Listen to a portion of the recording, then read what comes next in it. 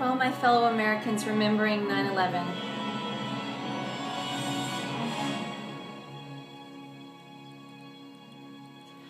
As the storm clouds gather far across the sea, let us pledge allegiance land that's free. Let us all be grateful for a land so fair as we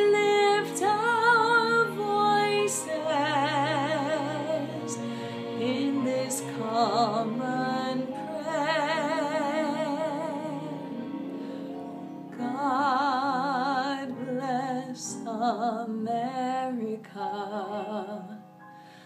land that I love. Stand beside her, please guide her